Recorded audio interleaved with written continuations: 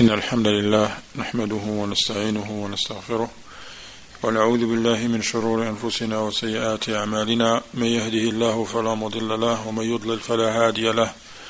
وأشهد أن لا إله إلا الله وحده لا شريك له وأشهد أن محمدا عبده ورسوله صلى الله عليه وعلى آله وصحبه وسلم تسليما كثيرا أما بعد. Once again, I welcome all of you. Continue reading from Al-Mulakhas Al-Fiqhi of our noble Shaykh Al-Allama Al-Doktor صالح بن فوزان الفوزان حفظه الله تعالى ومتعه بالصحة والعافية وغفر له ولوالديه وللمسلمين والمسلمات آمين باب في الصداق في النكاح Tonight inshallah ta'ala in this chapter we will learn the about the sadaq dowry that the women are given in marriage. قال الشيخ حفظه الله الصداق في تعريف الصداق قال الصداق مأخوذ من الصدق لأنه يشعر برغبة الزوج في الزوجة وهو شرعا عوض يسمى في عقد النكاح أو بعده.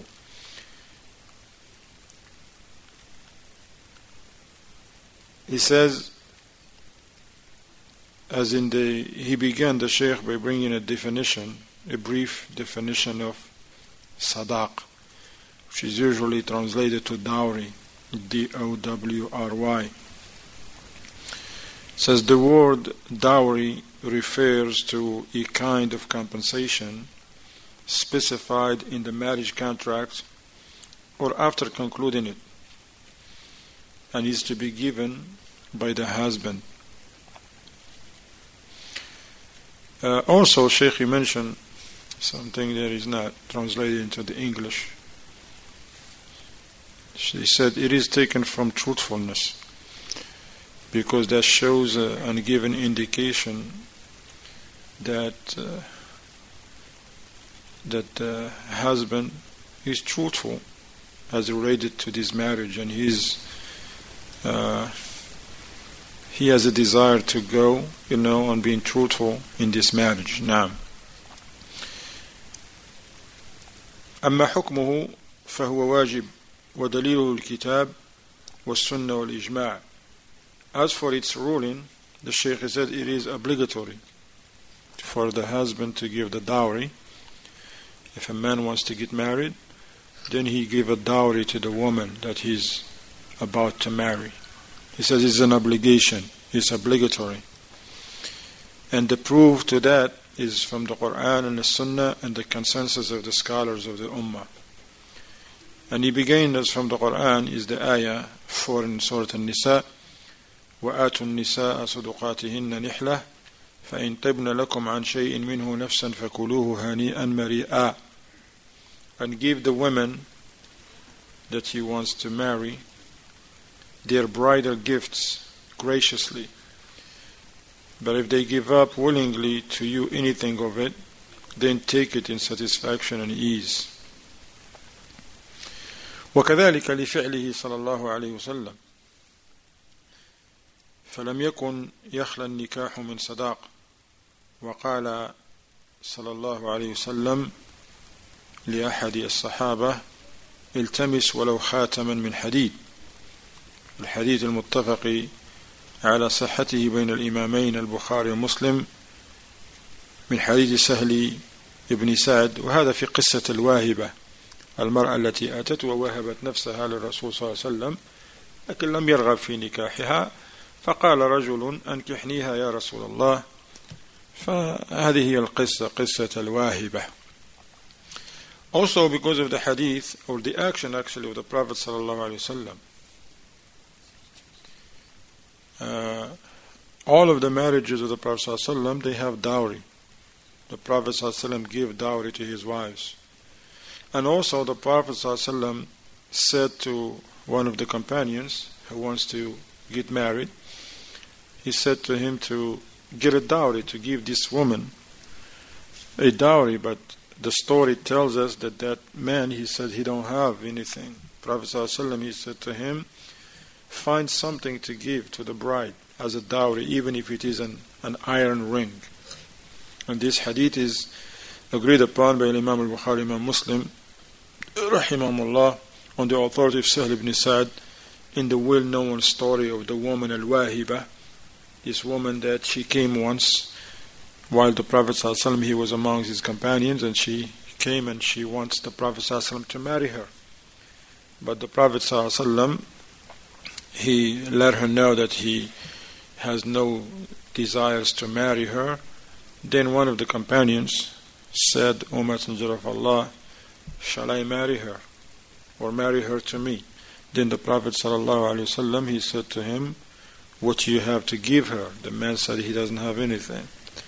And the Prophet ﷺ, he said to him, Give her, meaning as a dowry, even an iron ring. التمس ولو خاتما من حديد. قال الشيخ وأجمع يعني الشيخ الفوزان حفظه الله وأجمع أهل العلم على مشروعية الصداق في النكاح. Likewise, in addition to the ayah from Surah An-Nisa and the action of the Prophet ﷺ himself and this hadith that is agreed upon by Imam al-Bukhari and Muslim, rahimahullah. In addition, all Muslim scholars agreed that it's uh, it is legislated that the the uh, dowry it is legislated, and uh, the, the the the groom should give a dowry to the bride. Now, which is a man give it to the woman. Now. هذا بما يخص تعريف الصداق وحكمه this is now we learned what, what he means, the dowry and its ruling. أما مقداره Okay, as for the legal amount of dowry, what is the legal amount, how much to give? قال أما مقداره فلا يتقدر أقله ولا أكثره بحد معين. فلا يتقدر أقله ولا أكثره بحد معين. فكل ما صح أن يكون ثمنا أو أجرة صح أن يكون صداقا وإن قل أو كثر. إلا يقول الشيخ صالح حفظه الله إلا أنه ينبغي الاقتداء بالنبي صلى الله عليه وسلم فيه إلا أنه ينبغي الاقتداء بالنبي صلى الله عليه وسلم فيه بأن يكون في حدود أربع آه، مئة درهم وهي صداق بنات النبي صلى الله عليه وسلم كما جاء في حديث عائشة رضي الله عنها في كتاب النكاح عند مسلم في صحيحه rahimahullah. As for the legal amount of dowry, it has no specific minimum or maximum. It is not specified of there is okay. Nobody can tell you or oh, there is a minimum that the dowry has to be no less than this and has to be no more than this. There is no minimum and there is no maximum for it. Whatever is valid to be given as a, a price or a wage is valid to be given as a dowry, regardless of its amount. Still, he says, the best way is that you adhere to the sunnah of the Prophet ﷺ in everything. And he said if someone wants to do his dowry be the best dowry, then he has to give that which the Prophet ﷺ he used to give because he to follow the example of the Prophet ﷺ regarding dowries. And that the dowry should be about 400 dirhams. Okay? Some 400 dirhams. And as you remember, the uh, the dirham at that time used to be from silver and the dinar used to be from gold so when they say dirham meaning is a, is a silver coin so it's like a 400 uh, silver coin some 400 silver coin and uh, that one dirham is equal to like two almost 3 grams of silver. Almost 3 grams. It's like 2.975, they mention here in the book. One dirham of silver equals to 2.975. So it's the dowry here 400 times uh, this is like almost 1200, almost 1200 grams. Sound like 1100, 995 maybe or something like that. Okay? No.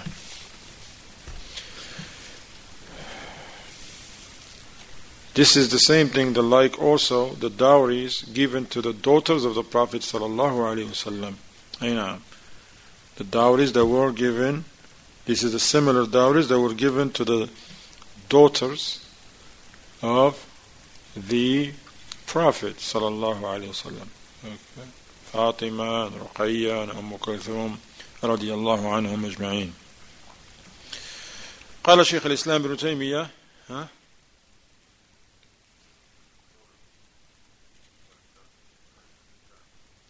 at this time.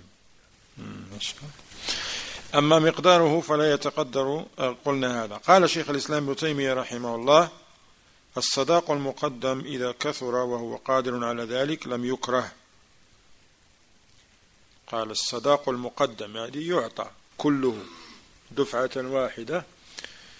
إذا كثر وهو قادر يعني الزوج قادر على ذلك لم يكره.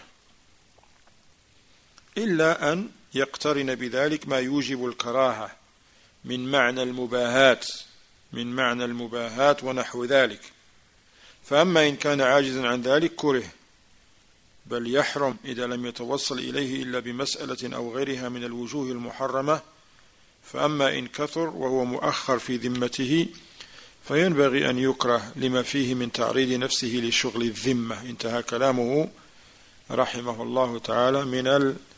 لا تشغلوا أنفسكم بهذه الأمور يا شيخ جزاكم الله خير كما في الاختيارات الفقهية كما في الاختيارات الفقهية نعم He mentioned Sheikh Fawzan, he mentioned the statement of Sheikh al-Islam ibn Taymiyyah rahimahullah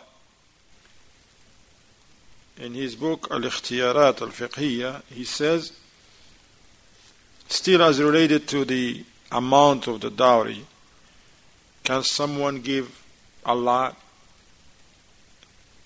or give that's what the Shaykh al-Islam mentioned now. Said if the dowry given is much you know is a, is a big number or in value it is not deemed you know makruh detestable or as long as the, the, the groom is able to afford it so if someone, for example, wants to give 10,000 dirhams, it's okay. As long as it is not a burden, become a burden on the groom. And uh, as long as he afford that. The Sheikh is going to mention later on how uh, some people they go overboard according to customs and traditions, not according to the Sunnah of the Prophet that when a man wants to marry, they are like you have to give this and give that. And you become accustomed. Even though they don't take in consideration that this person have money or not, they, he can afford or not. If a man can afford, yes, mashallah, he, can, he wants to give a million dollars, it's okay. He has it. But now, some people in some areas, they have a custom. They're like, listen, this is how it is. You don't have the dowry? Well, go somewhere else. Don't get married. Hey, now. So that's why he said if the dowry given is much, it is not deemed detestable as long as the groom is able to afford it. Unless the large amount of dowry is offered for detestable purposes such as boastfulness, showing off, and the like. Now it become not good to do that. Because he just want to boastful, you know. They want to they want to show off that she was given more than other girls in her age, in her quality, in her level. Okay. However, if the groom is unable to afford such a large dowry, it is detestable for him to present it. So he cannot say, I will give this or accept this, knowing that he cannot do it. He cannot afford to give it. Moreover, such a matter is viewed prohibited actually if the dowry cannot be attained except through begging or such like prohibited means. if the amount of dowry is much, meaning a large amount, and it is deferred to be paid later, sometimes they do it like that. Say, I'm giving 10,000. I give you 2,000 right now or 1,000, but the rest I give it later on. Okay?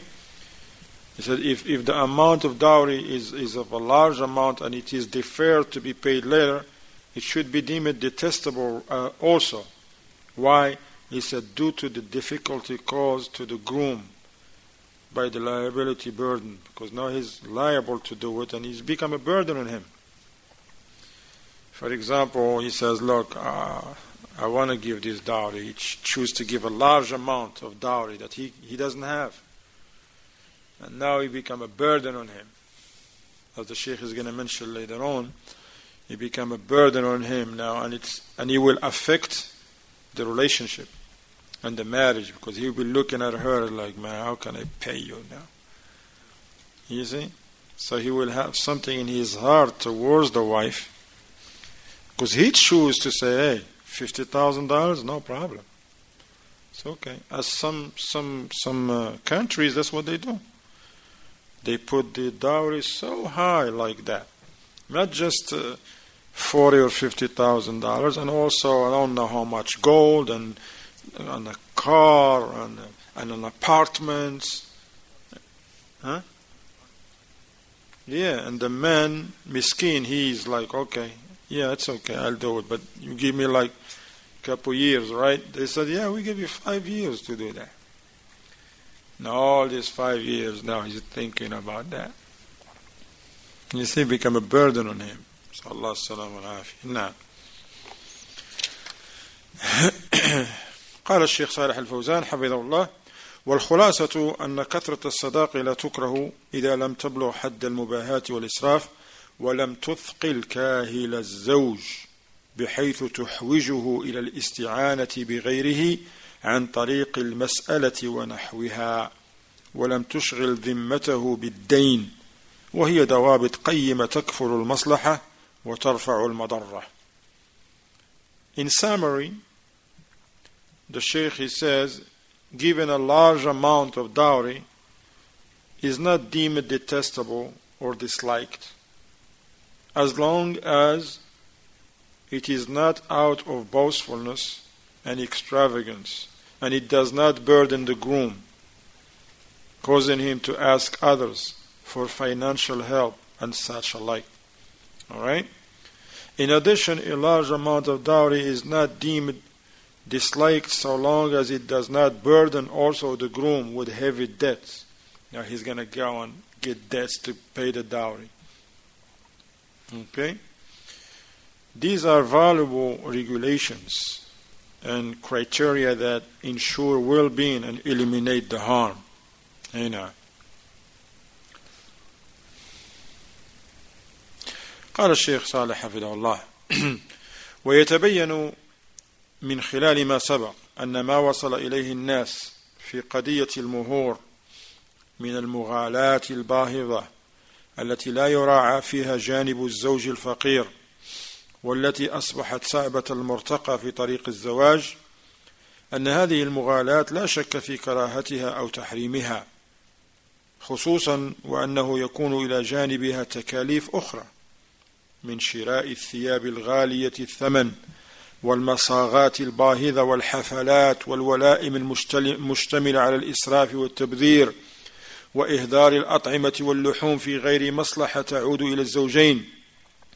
لا شك ان كل ذلك من الاثار والاغلال والتقاليد السيئه التي يجب محاربتها والقضاء عليها وتنقيه طريق الزواج من عراقلها. The Sheikh says, according to the above, okay, when you're talking about the dowry and if it's a large amount uh, and how it is to be dealt with, if the groom is can afford it or he cannot afford it. He says, according to the above, it becomes evident that exaggeration, okay, and excessiveness and extravagance in demanding large dowries are undoubtedly deemed de- disliked and detestable, or even prohibited, the They may reach the level to be even prohibited.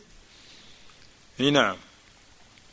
He says this is because demanding such large amount of dowry does not consider the condition of a poor man for instance, a poor man come has sound aqidah, good manhaj, good akhlaq, but still they're gonna turn all that down and like, hey, you got fifty thousand dollars? Nah, no, this is this is what it is around here.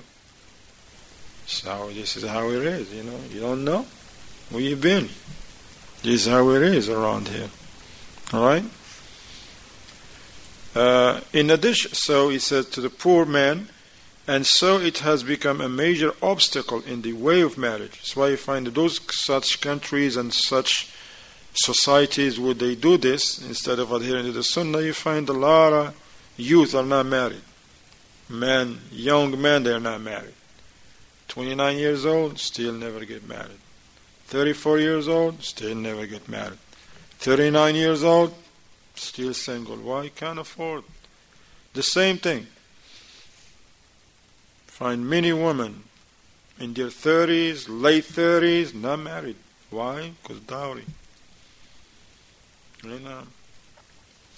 And the ulama, of course, alhamdulillah, Shaykh al-Baz, Uthaymeen, and all the ulama, Fawzan, they have valid fatwa, alhamdulillah, to incite the people to adhere to the sunnah of the Prophet and to make things easy for the young man who wants to get married, especially if those men have taqwa, have deen, not to hold on to the customs and traditions. This is how it is her mother got this large amount, she get to get a large amount. We're not going to accept no less than that because what the people going to say about her?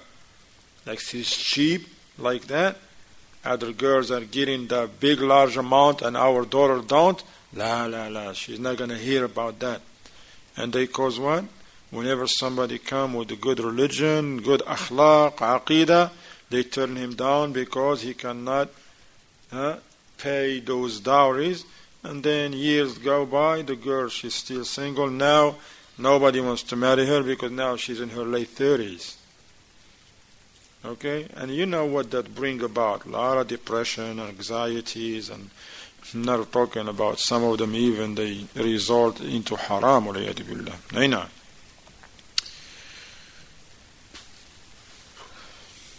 He said, in addition, there are many other unnecessary, now not only the dowry, in some societies and some villages and countries, yes, the dowry is so high $20,000, 30, 40, more or less, okay?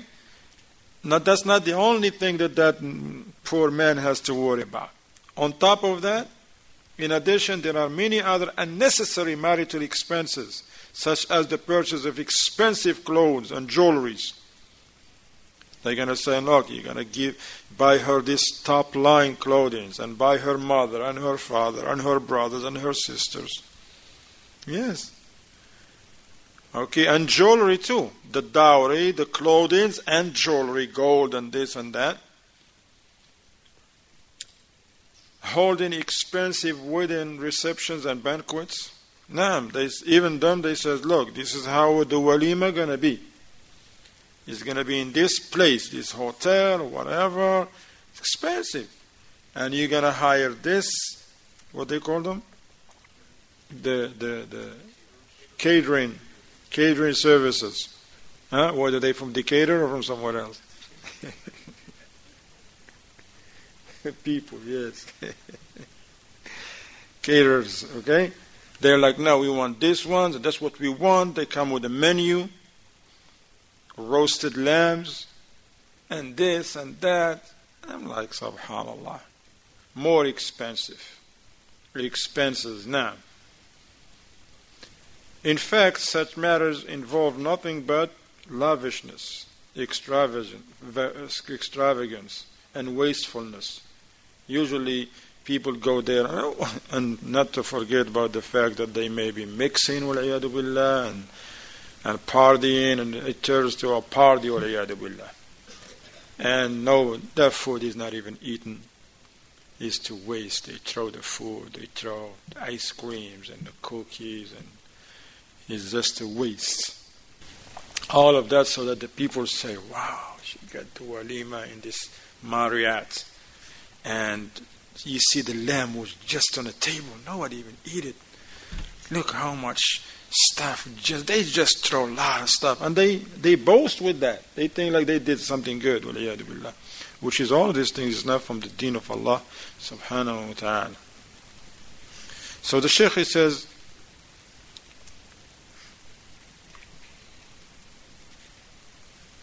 this is the, this all these things will not bring benefits to the spouses themselves and undoubtedly uh, such matters are considered among the burdens and obstacles and bad traditions that must be avoided and eliminated to clear the obstacles standing in the way of marriage. Now, and that's true. These are some customs people hold on to. They're not from the deen of Allah. They're not from the sunnah of the Prophet. The Shaykh Ta'ala, he told us the sunnah of the Prophet We need to learn the sunnah of the Prophet in everything. Since we're talking about marriage and especially the dowry and the like, then the next chapter is going to be about the walima. Hmm? Walima al-urs. Okay, the walima, how's the walima supposed to be and all that. This is, this is what the people they need to learn, both the husband and the family of the bride.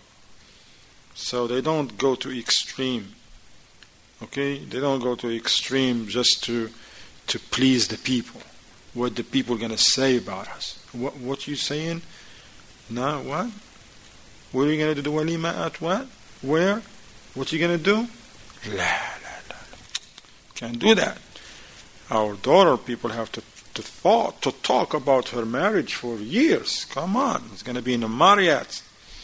It's going to be in a rubber Tree. I don't know where. It's going to be here and there, and it's going to be in newspapers. Going, we're going to put it everywhere. This is our daughter, our only daughter. So he become like boasting instead of doing what is pleasing to Allah subhanahu wa ta'ala.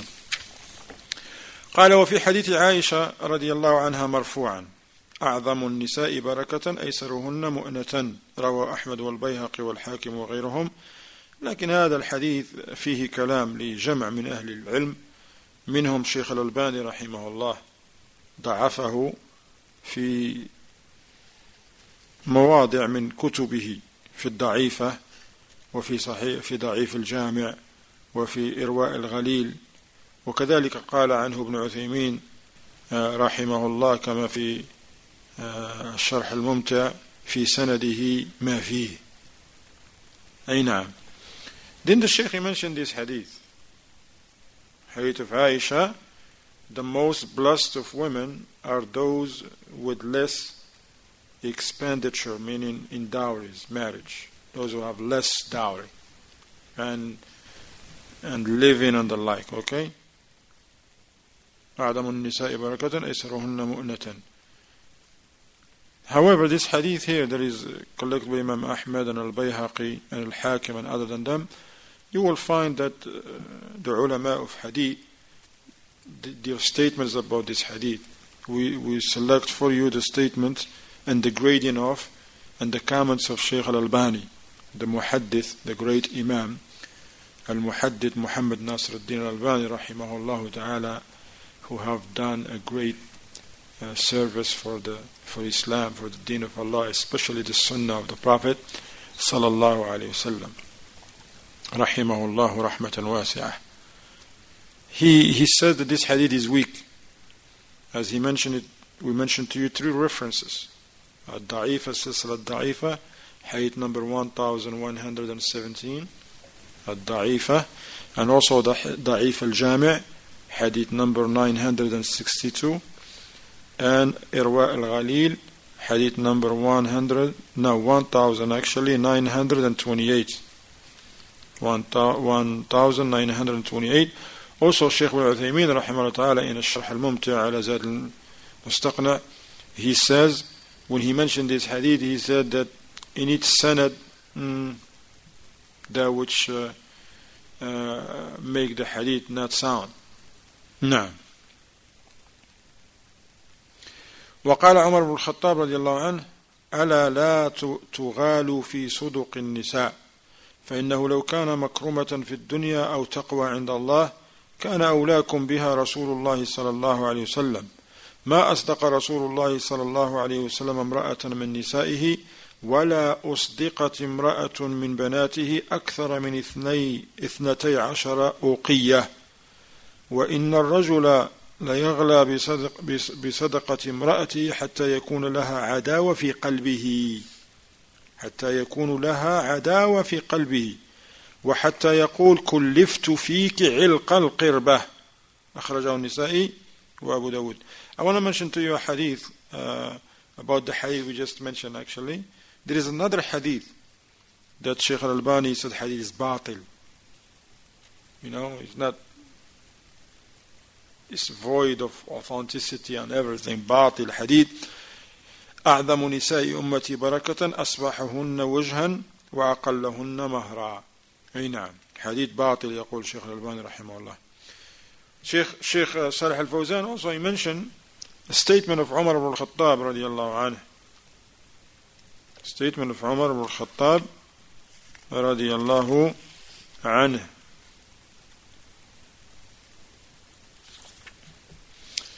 Who said, Do not go to extreme concerning the dowries of women. Do not go to extreme concerning the dowries given to the women.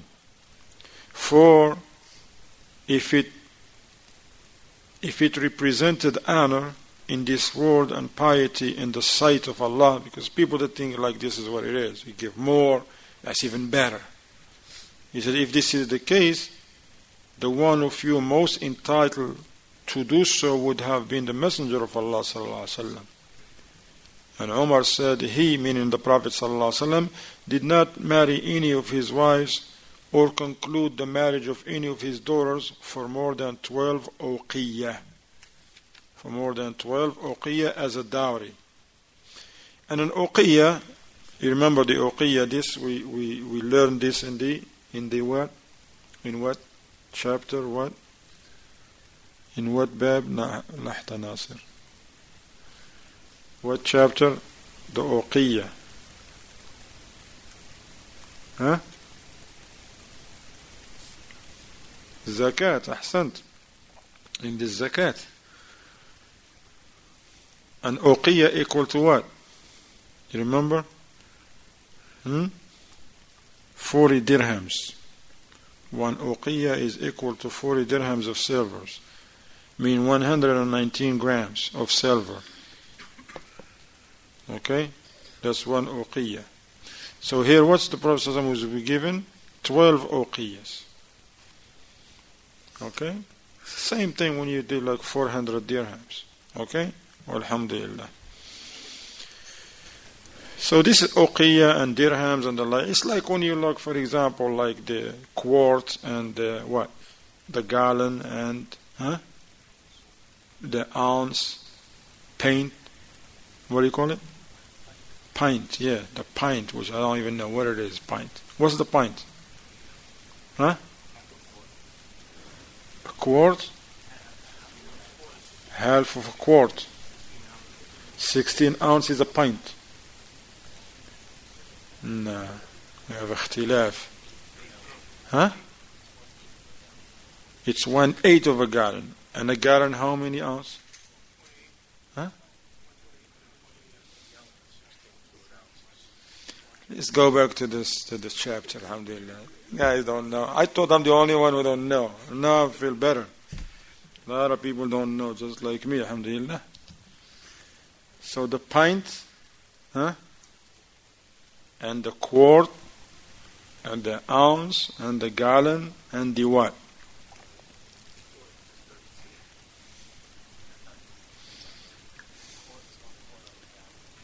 A quart is a one quarter, yes. Uh-huh. So the pint is the half of a quart. That's what it is. The pint is the half of the of the quart. Is the eighth, one eighth of a gallon. Okay. Now let's go back to what I was reading, right? Now, verily the man, Umar says, verily the man may be overburdened with the dowry of his wife until there could, there could be an enmity toward her in his heart. Let's say he says, Sir, he said, he said, Verily, the man, meaning here the husband who gave the dowry, who gave that large amount of dowry, be overburdened with the dowry of his wife until there could be an enmity toward her in his heart, and he may even say, I have been demanded to get everything, even the hanger of water skin to you. You see? I mean, I gave everything for you, whatever I have, and I gave it. I know. قال الشيخ الفوزان حفظه الله ومنه تعلم أن كثرة الصداق قد تكون سببا في بغض الزوج لزوجته حينما يتذكر ضخامة صداقها. قال الشيخ ولهذا كان أعظم النساء بركة أيسرهن مؤنة كما في حديث عائشة وتقدم أنه ضعيف فتيسير الصداق يسبب البركة في الزوجة ويزرع لها المحبة في قلب الزوج. The Sheikh says from this you should know that when a person is asked to give a large amount as a dowry, that may become a means for him to hate her, for that husband to detest and dislike his wife whenever he remembered that dowry, how much he gave. Because some men, they be like that. They're like, subhanAllah, 40,000, I could have buy a house. I could have started a business. Right or wrong? And uh, or if he still have to give, I don't know how much he gave, and he still have the mu'akhar as they call, something that is deferred for a longer run. And on top of that, can you imagine if that woman have issues and have problems? And no, no one is free from those issues, right? But the shaitan is very tricky. He will be looking at her like, SubhanAllah, I just gave 50,000, you can't even give me a cup of water? This is a 50,000 breakfast? You see what I'm talking about? The man be thinking these things. I gave all this dowry and came to a house like this? Huh? I gave fifty thousand dollars and all the jewelry and I and I and I buy clothes for your mother, grandmother, your sisters, father, brothers. Now you're giving me this attitude? You're talking to me this way? Understand. So he said that's why he says the uh, the uh, extravagance in dowries may drive the husband to dislike his wife. Whenever he recalls the huge amount of dowry he had to give to her, you see, the Sheikh said that's why the, those women uh, who their dowries are less they have barakah, is a blessings. Even though we mentioned the hadith earlier that is weak, the Imam al-Albani rahimahullah ta'ala mentioned that, but he said that brings mahabba, you know, because now the man is not thinking about that burden. Okay, he's not thinking about that, that burden.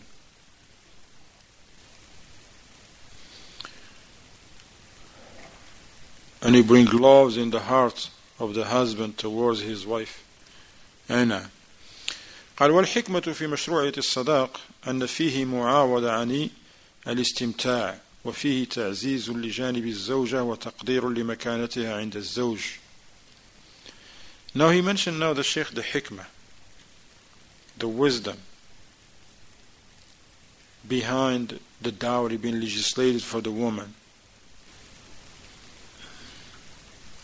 He says, and this is a right for her, since now the man he's gonna fulfill his desires with his wife. In addition, the dowry is considered a sign of honor granted to the wife, showing that she is respected and highly esteemed by her husband. Amen.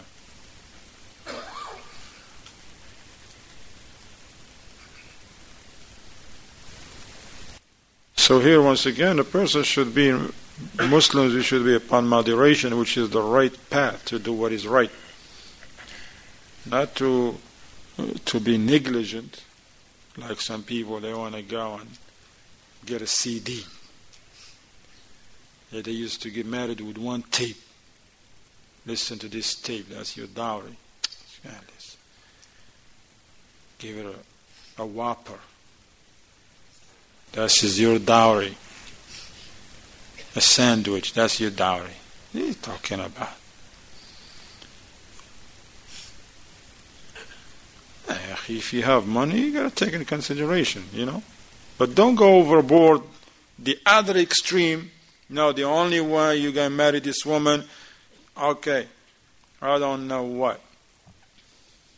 300 ounces of gold and 500 of silver, $20,000 up front, 30,000 in 5 years from now, an apartment in 10 years from now in her name.